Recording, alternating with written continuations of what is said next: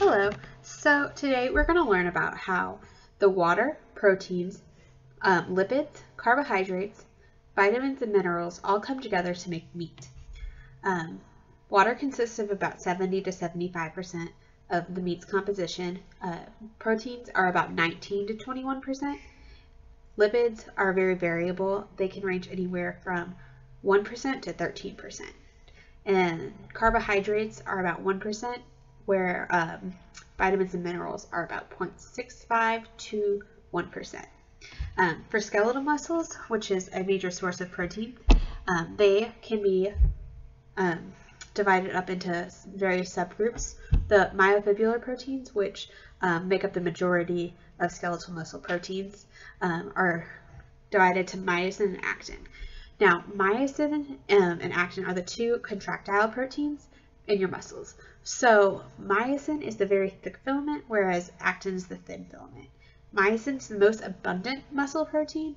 It outnumbers actin 3 to 1. So 3 myosins to 1 actin.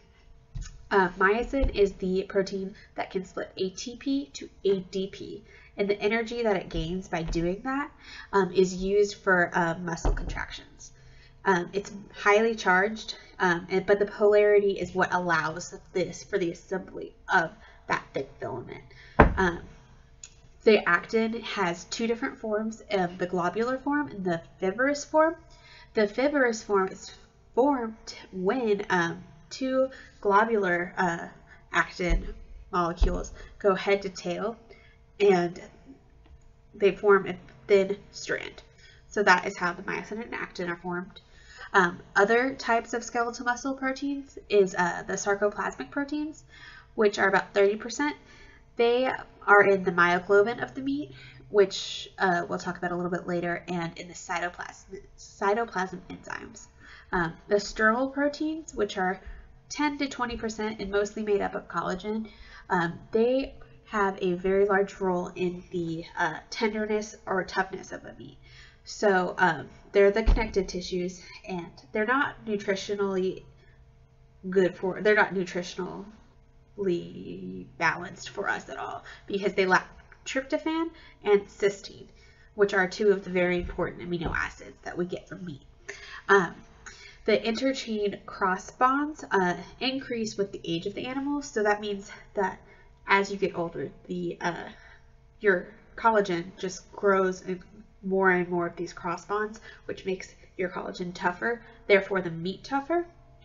And that is why we like younger animals for slaughter rather than the older animals with the tougher meat. Um, we also have non-protein nitrogens, uh, which mainly our main concern is the creatine because it is a big energy storage in the muscle. Um, as for the fats, again, most variable, 1 to 13 percent.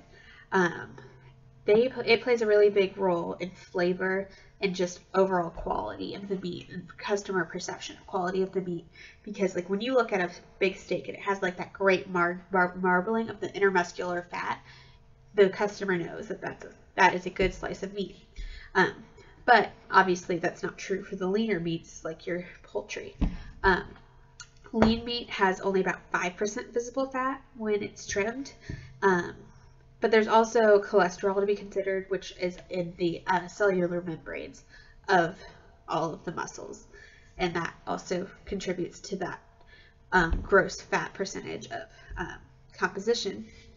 Now for the carbohydrates, 1% doesn't sound like a lot, and I know that, but it's actually a very important, plays a very important role because the um, carbohydrate is glycogen, and it plays a major role in rigor mortis because during it, glycogen is used during your daily activities. It helps run your muscles, and it also helps when you're stressed. When you're stressed, it converts itself, and it use it depletes your glycogen storages. So you try to keep the animal very de-stressed before slaughter because if they use up the glycogen, it cannot be converted to lactic acid, which helps with rigor mortis.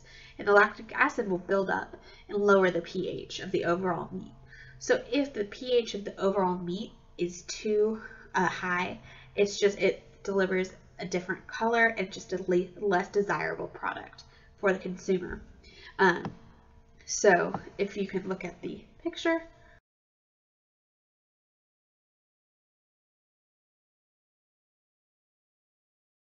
you look at the picture, you can see that.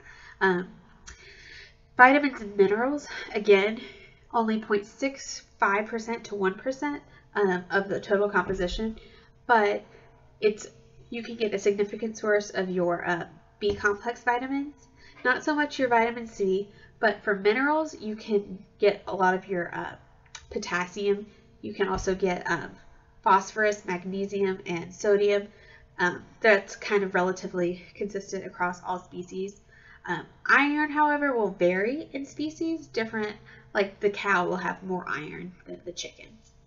Um, and it also varies on depending on your age, the animal's age and the animal's nutrition and what cut of meat you're using from the animal.